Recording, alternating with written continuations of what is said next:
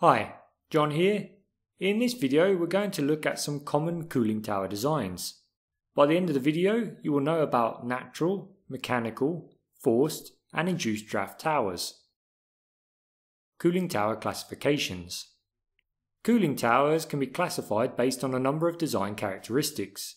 These are wet or dry, mechanical draft or natural draft, induced draft, forced draft or natural draft, counterflow or crossflow, direct or indirect, also known as open or closed circuit.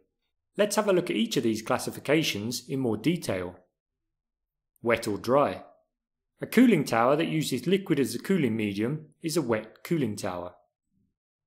A cooling tower that uses air as the cooling medium is a dry cooling tower. This video focuses upon wet cooling towers as these are the more common types of cooling tower. Wet type cooling towers are easy to identify due to the white plumes of moisture rising from the towers. This moisture is actually evaporated water. Mechanical or natural draft.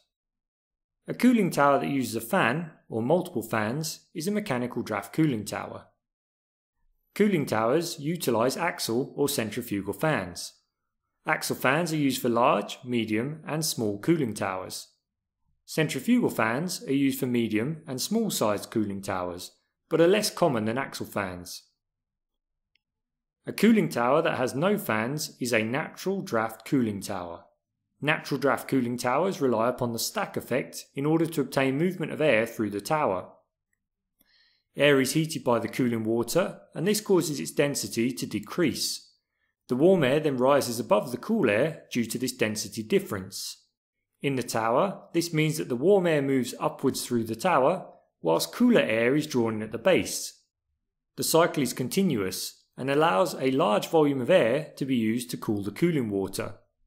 Typically, natural draft cooling towers are only used where the cooling demand is high and constant. Thermal power stations, for example, often use natural draft cooling towers. Induced, forced, or natural draft. A cooling tower that has a fan installed before the heat exchanger is known as a forced draft cooling tower.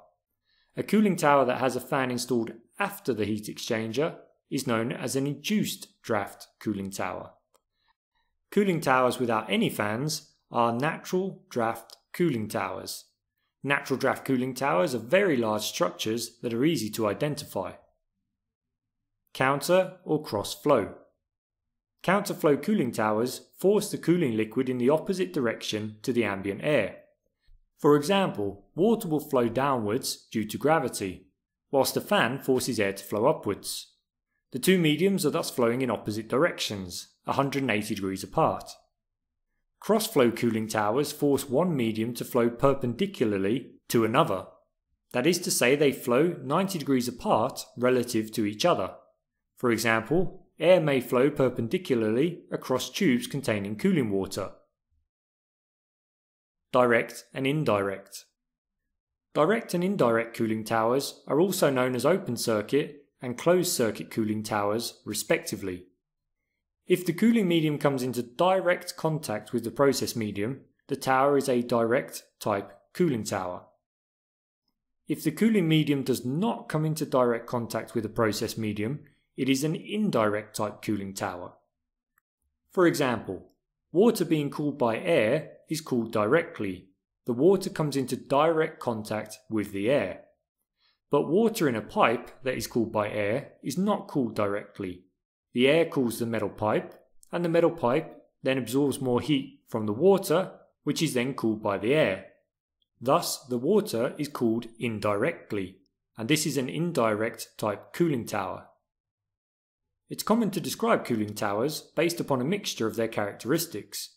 For example, this cooling tower is a wet, induced draft, counterflow, open circuit cooling tower. The cooling tower we're looking at now is very similar, although it is a wet, induced draft, cross flow cooling tower.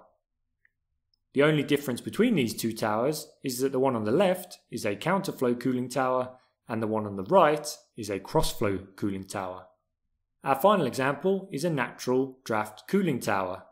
This particular tower is a wet, counterflow, open circuit cooling tower. This type of tower is also referred to as a hyperboloid tower.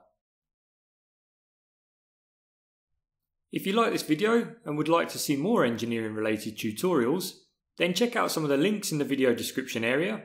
And if you click on these links, you'll get a special discount price for all of our engineering video courses.